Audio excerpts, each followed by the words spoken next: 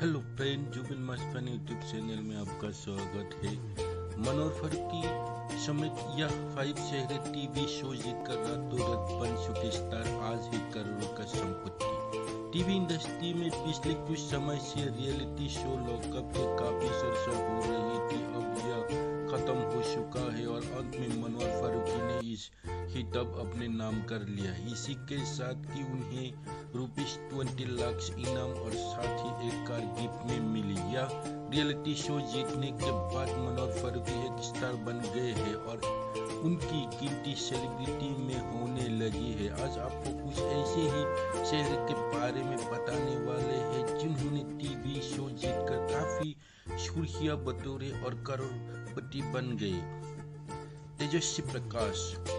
Big boss का फिफ्टीनवा season जीतने के बाद तेजस्वी प्रकाश को काफ़ी ज़्यादा लोकप्रियता मिली है। और आपको बता दें, इस शो के जीतने पर उन्हें फोर्टी लाख रुपए को राशि प्राप्त हुई। नंबर दो पर अर्जुन बिजलानी। अर्जुन ने खतरों के खिलाड़ी के एलेवन सीज़न में काफ़ी बेहतरीन परफॉर्मेंस दी थी और इस शो के विजेता बने थे। उनकी इनाम के तौर पर ट्वेंटी लाख थे पवनदीप इंडियन आइडल के ट्वेल्व सीज़न में अपने गायकी के काफ़ी ज़्यादा लोकप्रियता हासिल की थी। पवनदीप राजन ने इसका खिताब अपने नाम करके पवनदीप आज भारत के मशहूर सिंगर बन चुके हैं।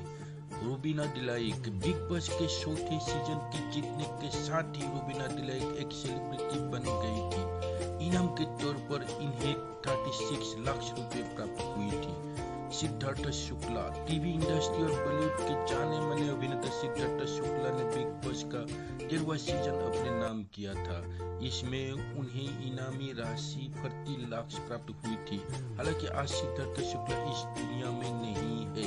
अंत मेरे इस वीडियो को देखकर आपको अच्छे लगे तो मेरे चैनल को ज़रूर सब्सक्राइब कर दिए लाइक कर दीजिए शेयर कर दीजिए, ताकि मैं मोटिवेट और अच्छे अच्छे वीडियो बनाकर आपके पास ले आ सकूँ।